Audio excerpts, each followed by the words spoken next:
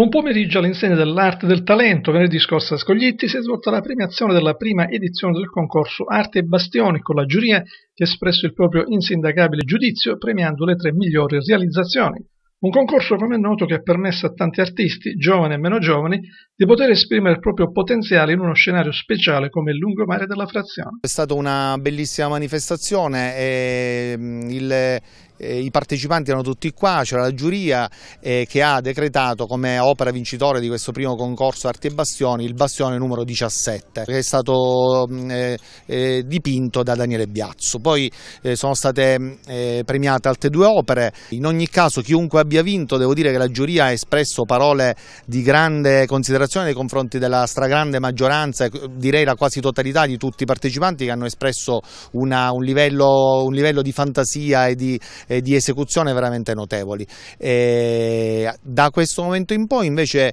eh, siamo alle prese con il secondo evento programmato, alle mie spalle vedre, vedete questo blocco di pietra di Comiso eh, che sarà eh, oggetto di una scultura in plein air, cioè nel senso che verrà effettuata in diretta durante tutto il periodo in cui sarà necessario, cioè da oggi fino a tutto agosto, dal nostro concittadino, allo scultore Ezio Cicciarella. di questa, eh, di questa manifestazione sono personalmente particolarmente